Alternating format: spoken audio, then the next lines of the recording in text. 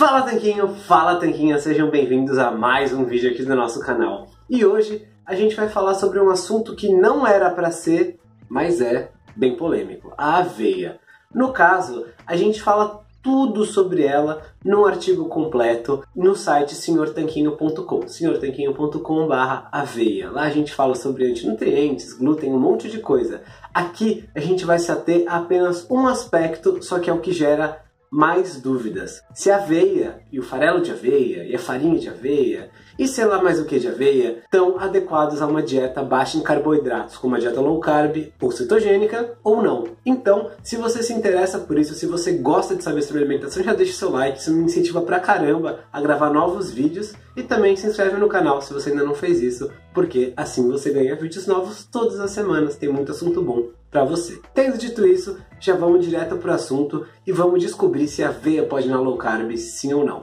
O fato é que muita gente quer saber sobre a aveia porque já ouviu falar que ela é uma boa fonte de fibras e às vezes eles estão com o intestino preso, ou que ela é uma boa fonte de proteínas de origem vegetal, será que é mesmo? Ou então ouviu falar que ela pode usar ou pelo menos o farelo em receitas. Mas a gente vai responder tudo isso de maneira objetiva. Então, para isso, a gente vai começar lendo as informações nutricionais da aveia. Pode ser um pouquinho chato, mas a partir daqui só melhora. Vamos ler. A cada 100 gramas de aveia, a gente tem cerca de 390 calorias, sendo 17 gramas de proteína, 66 gramas de carboidratos, uns 10 a 11 gramas de fibras e 7 gramas de gorduras. Esses números foram obtidos do site da Quaker, da Aveia Quaker, é uma marca que faz aveia, e eu coloquei eles nesse gráfico aqui para você ter uma noção visual do que, isso significa. Então, pelo gráfico, você pode ver que a grande maior parte da energia da aveia vem da forma de carboidratos. E é bem estranho você pensar que desses 66 gramas de carboidratos, uns 10 são fibras. Então quer dizer, a cada 100 gramas de aveia você tem 50 de carboidratos que não são fibra e 10 que são fibra. Olhando esses dois números, dá para achar estranho mesmo alguém falar que a aveia é fonte de fibra, porque 10% dela é fibra, 50% é carboidrato que não é fibra. Então é bem estranho você dizer que a aveia é fonte de qualquer outra coisa que não seja carboidrato. Muita gente vai falar: ah, mas você tem fibras, 10 gramas de fibras não é uma quantidade desprezível, e realmente não é uma quantidade tão baixa assim. Porém, ela vem com esse monte de carboidratos junto. E se você quer seguir uma dieta baixa em carboidratos, como é o caso da dieta low carb ou mesmo da dieta cetogênica, se você quer saber a diferença das duas, comenta aqui embaixo low carb ou cetogênica, que eu te mando um vídeo que fiz explicando tintim por tintim, tem de igual e de diferente. Mas se você quiser comer pouco carbo, não faz sentido comer aveia.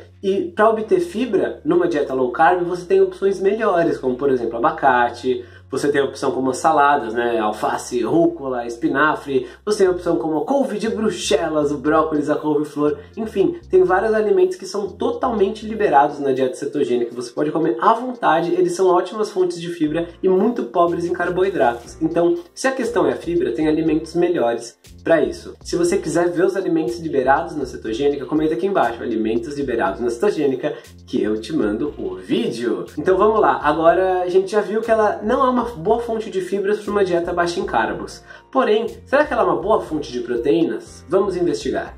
Bom, a gente pode ver também pelo gráfico e pelas informações nutricionais que eu te falei antes, que a aveia tem cerca de 17 gramas de proteína a cada 100 gramas de aveia. Isso significa que mais ou menos uns 15% das calorias dela vem das proteínas. Será que isso é bom ou será que isso é ruim? Se você pensa em dieta alta em proteínas, essa quantidade já não é tão adequada, porque como a gente falou, ela é muito, muito, muito rica em carboidratos. Porém, mesmo no contexto de uma dieta que não seja tão alta em proteínas ou nem que seja tão low carb assim, não é um alimento rico em proteínas, porque você ainda vai comer outras coisas na sua vida além de aveia, eu espero. Então, você consegue compor como fontes de proteína alimentos muito melhores, como por exemplo ovos, carnes, peixes, frango, enfim, queijos, laticínios, tudo isso são fontes melhores. E mesmo no reino vegetal, você consegue encontrar fontes de proteína melhores do que essa. Nem que seja, por exemplo, as leguminosas, como o feijão, já é algo um pouco melhor. Além disso, é importante quando você pega fontes vegetais de proteína, como é o caso da aveia, pensar na completude dos aminoácidos. O que eu quero dizer com isso? Isso quer dizer que os seres humanos precisam, nós precisamos, é uma necessidade biológica, de alguns aminoácidos que venham da alimentação, são chamados aminoácidos essenciais. E esses alimentos, como por exemplo a aveia, não têm um perfil nutricional completo. Então, além de ser pouca proteína e de estar cheia de carboidrato junto, não é uma proteína completa. Você vai precisar comer outras fontes de proteína junto para poder utilizar um pouco dessa proteína, sem contar que ela não é completamente biodisponível. Né? O que isso quer dizer? Que alguma dessa proteína não vai ser utilizada pelo seu corpo, porque a aveia tem junto consigo alguns antinutrientes e algumas outras substâncias que atrapalham o uso correto dessas proteínas que estão na aveia. O resumo da ópera é que a aveia não é uma boa fonte de proteína, ela é uma boa fonte de carboidratos, conforme a gente já viu. As pessoas agora podem ter a seguinte dúvida sobre, tá bom, a aveia já entendi que não é low carb e tal, mas e o farelo de aveia? Ou a farinha de aveia? Ou a aveia instantânea? Ou o floco de aveia? O que, que é cada um deles? Então vamos ver como que é a diferença entre cada um dos tipos de aveia e se algum deles é menos pior que o outro. Então algumas das principais apresentações da aveia que você vai encontrar são a aveia em grãos, que é basicamente só o grão da aveia, cortado, né? É a aveia cortada em aço que se fala nos Estados Unidos, steel Road Oats. É só aveia em grãos, não tem muito segredo ali, ela tem a propriedade bem parecida com aquilo que eu mencionei antes. A aveia em flocos ou laminada, que esses grãos são cortados, passam por um achatamento mecânico, é um pouquinho mais processada e o perfil nutricional ainda é bem parecido com aquele que eu mencionei. Tem a chamada aveia instantânea, que é tipo um cereal à base de aveia. Ela às vezes vem adicionada de açúcar, então mais um ponto negativo para sua saúde. Tem a farinha de aveia, que é usada como substituição muitas vezes em dietas sem glúten. Usam essa farinha, mas ela é rica em carboidratos. Ela é basicamente só carboidrato, porque tiram a casca da aveia e fica ali só uma coisa mais refinada para você poder fazer massas, pães, bolos, tortas, tudo que você não devia fazer, especialmente com farinha de aveia, se você quiser emagrecer numa dieta low carb. E por fim, quando separam essa parte interna do grão da aveia da casca dela, usam a, essa parte interna para fazer a farinha e a casca eles usam para fazer o farelo de aveia. E essa é a maior fonte de dúvida. Por quê? Bom, por dois motivos principais. O primeiro é que alguns anos atrás surgiu um, um, tipo de dieta baixa em carboidrato, a tal da dieta do Can, que era mais uma dieta da moda, assim, que era baixa em carbo, baixa em gordura, mais ou menos rica em proteína, mas tinha todo um monte de regras e complexidade. Deu muito certo pro Dr. Dukan, que foi quem criou a dieta e ganhou muito dinheiro com ela. Mas a gente recebe vários relatos de leitores todos os dias que tentaram, perderam um pouco de peso e depois voltaram a ganhar. Por quê? Porque não se transformou em estilo de vida, né? Não é igual ao nosso programa Guia Dieta Cetogênica que ajuda as pessoas a criarem um estilo de vida baseado numa dieta e não uma intervenção momentânea e maluca. Se quiser conhecer o programa, tem link na descrição. Então, esse é um dos motivos que nessa dieta do Can todo mundo comia farelo de aveia o tempo todo, era uma coisa de louco, e o segundo motivo é que foi dito por aí que ah, o farelo é só fibra, é rico em fibras, ele não tem os carboidratos da aveia. Será que isso é verdade?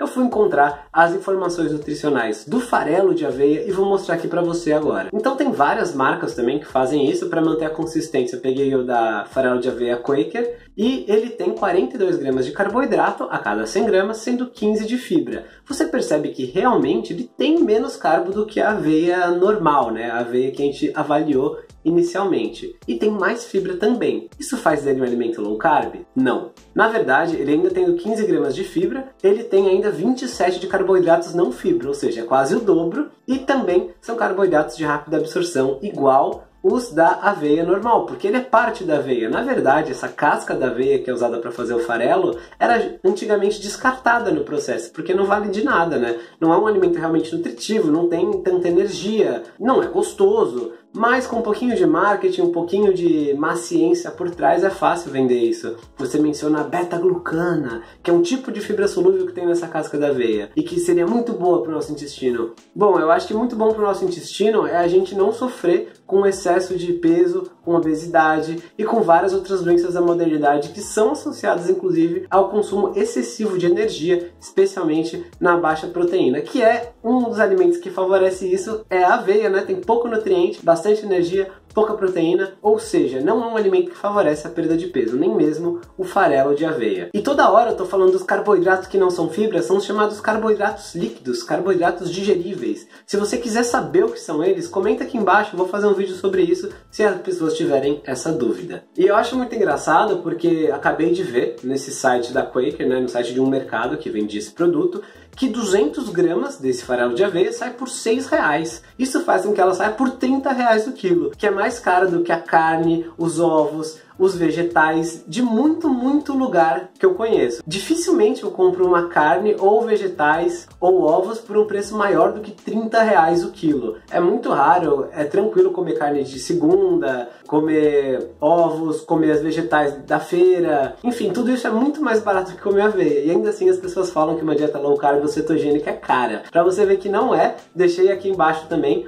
um link com a nossa lista de compras, que é um vídeo em que eu e o Rony mostramos o que a gente compra para uma semana, mostra os preços, mostra as quantidades, é bem legal para você acompanhar. Mais de 200 mil pessoas já viram e é muito bom. Se quiser receber também, tem o link na descrição e tem também, só você comentando lista de compras que a gente mostra para você. Para resumir então, tô deixando aqui na tela um quadro comparando algumas formas de aveia e mostrando que elas não são low carb. E lembrando você que você pode obter essas fibras, essas proteínas e os benefícios, né, entre muitas aspas, da aveia com outros alimentos de verdade, que você não precisa incluir essa fonte de carboidratos na sua dieta low carb nem cetogênica. Na verdade, uma das melhores coisas que você faz para sua alimentação é tirar a aveia dela especialmente porque a gente busca alimentos pouco processados, alimentos que fazem sentido evolutivo com a gente. E carnes, vegetais e ovos e mesmo frutas fazem sentido na nossa evolução, como a aveia, que é um grão, não faz tanto assim. E falando em fruta, deixei aqui ao lado um vídeo explicando sobre as frutas na dieta cetogênica, o que, que pode, o que, que não pode, o que você tem que saber. Também tem um tanquinho aqui na tela para você se inscrever no nosso canal e receber mais vídeos novos todas as semanas. A gente se fala na semana que vem. Um forte abraço do Sr. Tanquinho.